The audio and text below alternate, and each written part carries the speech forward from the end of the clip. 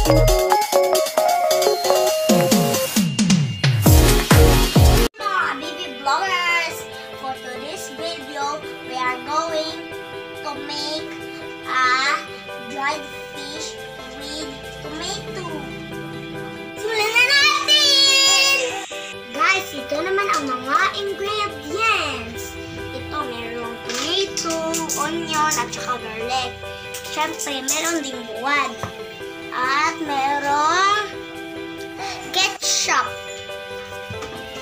Guys, kasi kapag mainat na yung kaha natin, lagyan na natin ng mantika.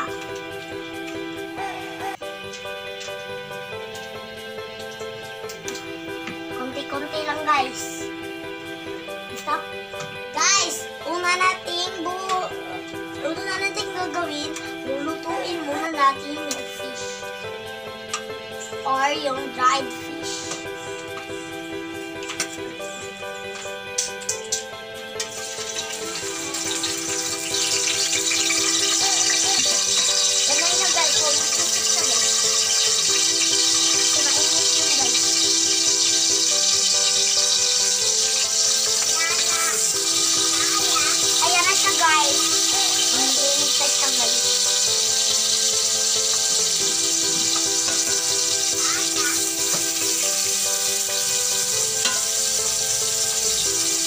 Guys, ang hirap magluto guys.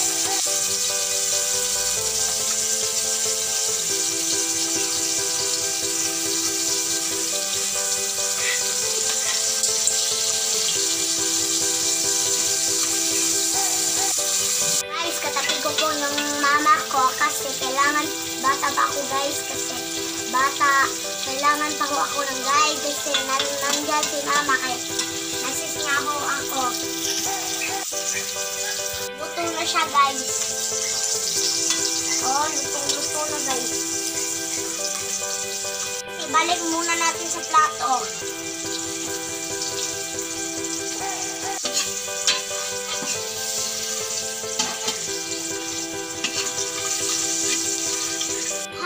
Na-transfer na po natin sa plato. So guys, lagay na natin yung onion.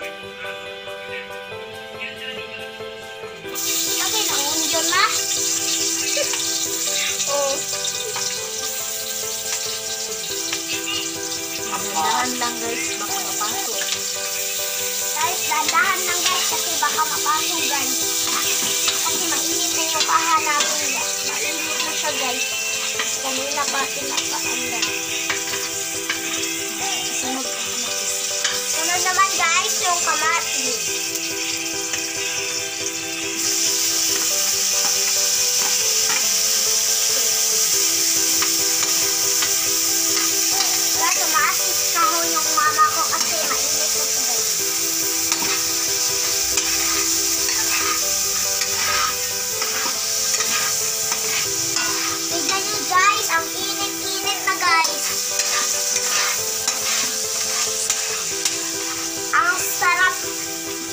Mukhang masarap na siya guys.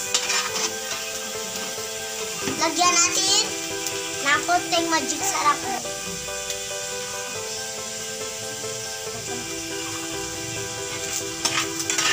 Shake muna natin ulit guys para sa magic sarap mawala yung lasa.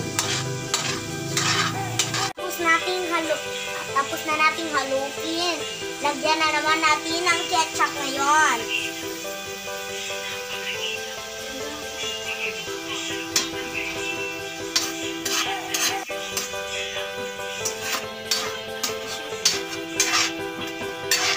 Dapat guys, konti lang.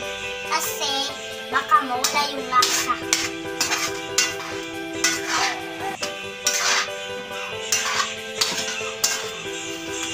Tignan nyo guys, mukhang masarap na guys.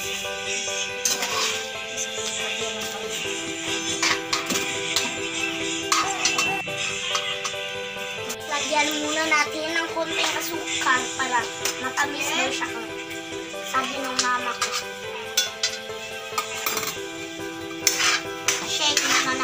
Natin, muna natin guys.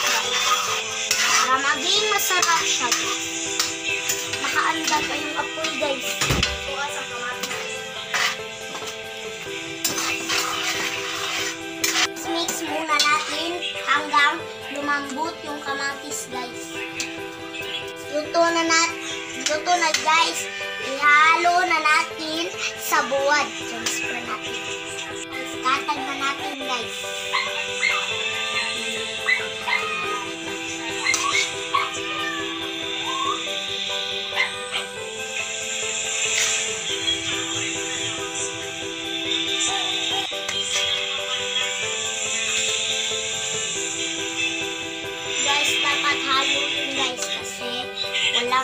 Walang, hindi masarap guys kapag halo. Yung final look ng dried fish natin at with tomato. Nasarapan kayo sa luto ko! Subscribe my YouTube channel and don't forget to like, share, comment. Thank you for watching!